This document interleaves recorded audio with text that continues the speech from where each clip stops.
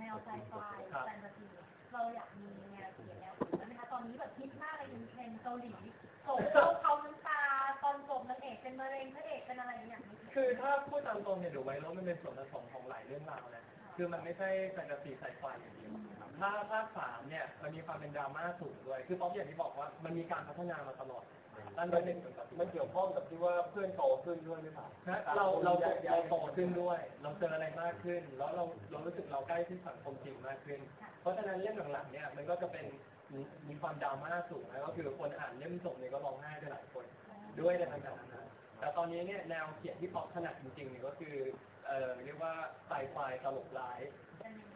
จะเป็นแนวใหม่เลยฮะแนวใหม่มากๆแล้วก็แหวกกระแสมากๆครับซึ่งเพิ่งออกเพิ่งเปิดตัวไปก็คือ Girl s a n a d o r เด็กผู้หญิงกับตุ๊กตาผลตอบรับอันนี้ดีมากนะต้องต้องบอกว่าขอบคุณทุกคนมากที่ให้การตอบรับกับงานเปิดตัวที่ผ่านมาที่คุณสิริกิจแบบคนเต็มเลย เรารู้สึกดีใจมากที่ว่าโอเคเจ็ดแปดปีผ่านมาเนี่ยแฟนคลับไวโรดก็ยังตามมาถึงเรื่องปัจจุบัน แล้วเรื่องนี้เนี่ยตอนนี้เราจะมีทัวร์ทั่วประเทศเลยนะทัวร์ทั่วประเทศเลยไปตามโรงเรียน นะครับผมเพราะอะไรเพราะเรื่องนี้เนี่ยมันไม่ใช่แค่ไซไฟธรรมดาครับมันจะเป็นไซไฟที่สอนการใช้ชีวิตในสังคม แล้วก็สอนการพัฒนาตัวเองด้วย มันจะเป็นเรื่องของ step ของมันนะคือคนแปดคนแปดเรื่องราวแปดพลังแปดปริศนากับตุ๊กตาหนึ่งตัวสู่มหาวิบัติในจินตนาการที่โลกทั้งพันเลยโอ้โหนี่คือ concept ของมันนะครับนะเพราะฉะนั้นเนี่ยก็คือป๊อปแสดงให้เห็นว่าตัวละครทุกตัวนะครับเหมือนชีวิตของเราที่มีกับพี่กรมก็คือ เราเป็นพระเอกในชีวิตของคนเรา ตัวเราเองแต่ท้ายที่สุดเนี่ยเราอาจจะมีเหตุการณ์บางเหตุการณ์เช่นวันนี้เนี่ยเวลาตรงนี้เนี่ยตอนเช้าเราอาจจะทำอะไรต่างๆนะแต่ท้ายที่สุดตอนนี้เนี่ยเรามาอยู่ที่เดียวกันมันก็คือต้องมีจุดที่เชื่อมทุกคนเข้าถึงกันนะแล้วไม่ได้มีความตลกร้ายความรักความแบบดราม่าอะไรอย่างเงี้ยโมอ่านหน้าเหรอณวันนั้นเนี่ยวันที่เริ่มเขียนไว้โน้ตจนถึงหน้าวันเนี้ยครับเคยคิดบ้างไหมว่าจะมี สิ่งที่อยู่ในหน้าของไม่เคยคิดเลย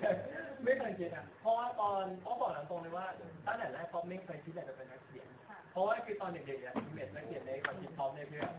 แบบอ่านหนังสือเยอะแบบว่าถึงแล้วแบบว่าแต่งตัวแนวๆอะไรอย่างเงี้ยแล้วคือป๊อปรู้สึกชีวิตป๊อปนี่ก็อย่างนั้นตั้งแต่เด็กป๊อปมีวงดนตรีป๊อปชอบการแสดงออกชอบการพูดแล้วไม่คิดว่าจะเป็นนักเขียนได้หรือเปล่าแต่พอมาเป็นเนี่ย ก็รู้สึกได้ถึงมันมีความรับผิดชอบมันมีหน้าที่ที่ต้องรับผิดชอบคนอ่าน หลายๆคน แล้วเราก็กลายเป็นว่าคนอ่านเยอะเราก็มีคนติดตามเยอะแล้วเราก็พูดทันกันจากแฟนคลับบางคนเนี่ยก็กลายมาเป็นเพื่อนเราครับ อย่างเงี้ยมันแบบมันเป็นสิ่งที่ไม่คาดฝันในความคาดหมายซึ่งถ้าไม่เริ่มเขียนไว้รถตั้งแต่ตอนนั้นเนี่ยปัจจุบันนี้ก็อาจจะเป็นหน้าท็อปธรรมดาหรือเป็นตวัอนฒนั้นนซึ่มงนี่ยังเกี่ยวกับเรื่องความรับผิดชอบคนนั้นครับ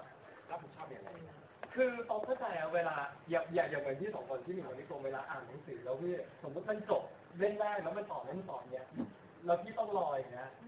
อืมพี่จะรู้สึกแบบมันมันเหมือนจะลงแดงอะเหมือนเวลาเขารอแฮร์รี่พอตเตอร์เขาก็รู้สึกอย่างนั้น แล้วคนอ่านเหมือนกันเวลารองานเราเขาก็รู้สึกอย่างนั้น เพราะฉะนั้นหน้าที่ของเราก็คือต้องออกหนังสือให้เป็น routine แบบว่าที่ตรงเวลาปีละครั้งปีละสองครั้งอะไรว่าไปแล้วเราต้องคำนึงถึงเรื่องวัฒนธรรมจริยธรรมเรื่องของข้อเท็จจริงอะไรอย่างเคือมันเขาจะไม่มีการส่วนนะครับเขารู้สึกว่าคำว่าแฟนตาซีไซไฟเนี่ยคือปล่อยมาจากจินตนาการ pure ๆดังนั้นก็คือสิ่งที่เราคิดเพียวๆเนี่ยมันจะเป็นสิ่งที่ซื่อสัตย์กับตัวเองที่สุด แล้วคือผู้อ่านเนี่ยเขาก็ชอบอะไรอย่างเงี้ยแบบว่าเหนือจริงคือคนอ่านเนี่ยจะไม่ชอบอะไรที่เขาเห็นอยู่แล้ว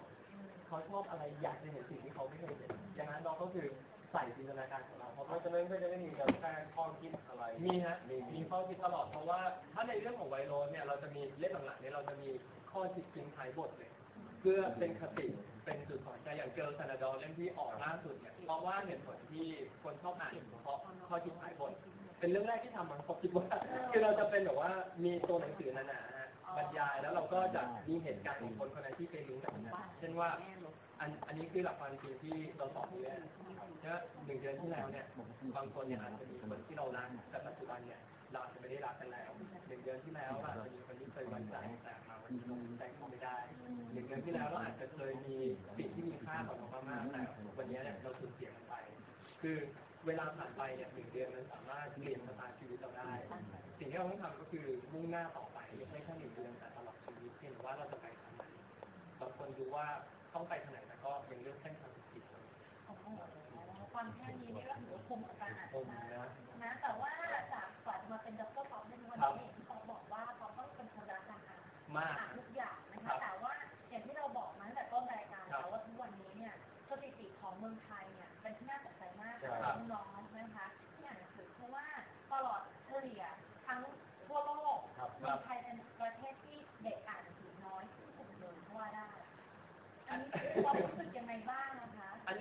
ว่าอาจจะเป็นเอ่อ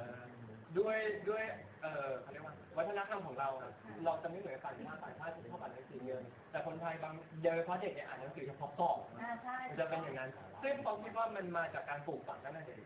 อย่างป๊อปเนี่ยคุณแม่เนี่ยอย่างของเล่นชิ้นแรกที่บอกได้พี่ตั้งแต่อยู่ในอ่างอาบน้ำแล้วมันคือหนังสือยางอ๋อผมไม่ได้เป็ดนะครับผมไม่ได้เล่นเป็ดเหมือนคนอื่นผมเป็นหนังสือยางนะเพราะฉะนั้นคือผมรู้จักหนังสือตั้งแต่อยู่ในอ่างน้ำอะเออจะ โดนน้ำได้ใช่นี่มันมันมันกัดได้ แล้วก็โตขึ้นมาตอนสามขวบเนี่ย คุณแม่ซื้อของขวัญชิ้นแรกให้ก็คือเซ็ตหนังสือของวอลต์ดิสนีย์เออครับนะครับเป็นหนังสือการ์ตูนมิกกี้เมาส์อย่างเงี้ยลายสวยๆเป็นภาษาอังกฤษก็อ่านไม่ออกแต่ดูภาพได้ เพราะฉะนั้นมันขึ้นอยู่กับการปลูกฝังตั้งแต่เด็กคือพ่อแม่บางคนเนี่ยมีความเชื่อผิดๆว่าเลือกหนังสือที่ตัวเองชอบให้ลูกอ่านค่ะลูกก็อ่านไม่สนุกสิครับใช่ไหมแต่คือของป๊อปเนี่ยทุกครั้งเนี่ยตั้งแต่เด็กคุณแม่เอาไปทิ้งร้านหนังสือเราให้เลือกเอง ไม่ค่อยเกี่ยงราคาด้วยอยากได้เล่มไหนหยิบเลย เพราะฉะนั้นเนี่ยเราก็เลยรู้สึกว่าหนังสือเนี่ยเป็นสิ่งที่